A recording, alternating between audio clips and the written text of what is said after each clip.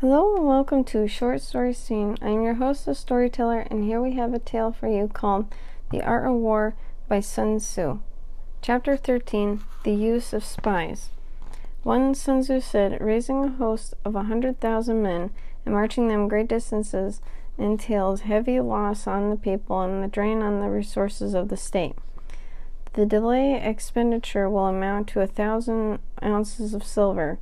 There will be commotion at home, abroad, and men will drop down exhausted on the highways. As many as 700,000 families will be impeded in their labor. 2.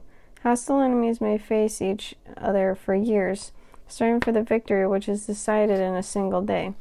This being so, to remain in ignorance of the enemy's condition simply because one grudges the outlay of the hundred ounces of silver in honors of emoluments and the height of inhumanity. 3.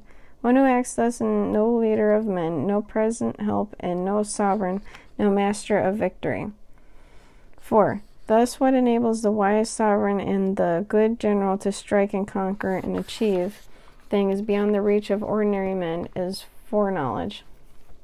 5. Now that this foreknowledge cannot be elected from the spirits, it cannot be obtained in deductively from experience, nor by a deductive calculation. 6. Knowledge of the enemy's disposition can only be obtained from other men. 7. Hence the use of spies, of whom there are five classes 1. Local spies, 2. Inward spies, 3. Converted spies, 4. Doomed spies, 5. Surviving spies. 8. When these five kinds of spies are all at work, none can discover the secret system. This is called divine manipulation of the threads. It is the sovereign's most precious faculty. 9. Having local spies means employing the services of inhabitants of the district. 10.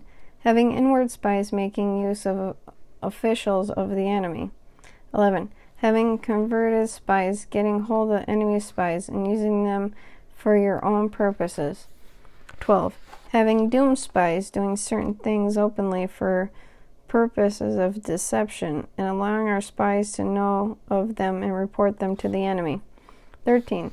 Surviving spies, finally, are those who bring back news from the enemy's camp. 14. Hence it is that which none in the whole army are most intimate relations to be maintained than with spies. None should be more liberally rewarded, and no other business should be greater secrecy be preserved. 15. Spies cannot be usefully employed without a certain intuitive stagnacy. 16. They cannot be properly managed without benevolence and straightforwardness. 17. Without subtle ingenuity of mind. One cannot make certain of the truth of their reports. 18. Be subtle, be subtle, and use your spies for every kind of business. 19. If the secret piece of news is divulged by a spy before the time is ripe, he must be put to death together with the man of whom the secret was told. 20. Whether the object be crushed an army, or a storm the city, or assassinate an individual, it is always necessary to begin by finding out the names of the attendants, the aides de camp, and doorkeepers and sentries and general in command. Our spies must be commissioned to ascertain these. 21. That enemy spies who have come to spy on us must be sought out, tempted with bribes, led away, and comfortably housed. Thus they will come become converted spies and available to our service. 22. It is through the information brought by the converted spies that we are able to acquire and employ local and inward spies. 23. It is owing to his information again that we can cause the doomed spy to carry false tidings to the enemy. 24.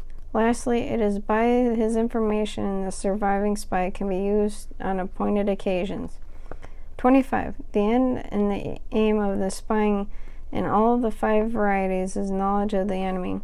And this knowledge can only be derived in its first instance from the converted spy.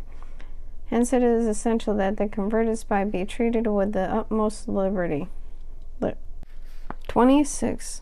Of old, the rise of Yin dynasty was due to Aichun, who was served under And likewise the rise of Zhou dynasty was due to Liu Ya and had served under the Yin.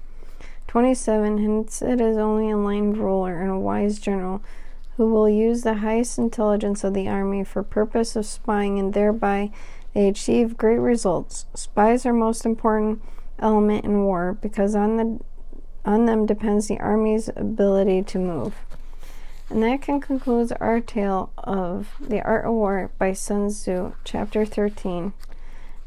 If you like this content and like to support it, please head on over to Patreon. That is www.patreon.com forward slash short story scene. Thank you, Direct, for being a patron, and thank you all for listening. See you next episode. Bye.